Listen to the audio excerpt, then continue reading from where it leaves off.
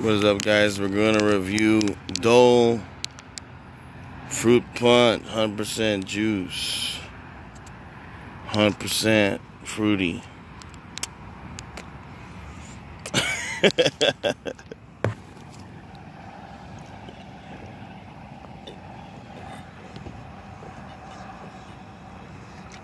mm.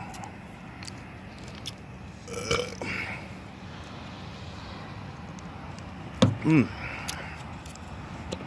That's not bad.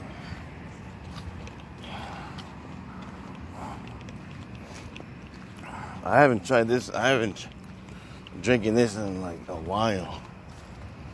But uh, make sure you guys go check it out.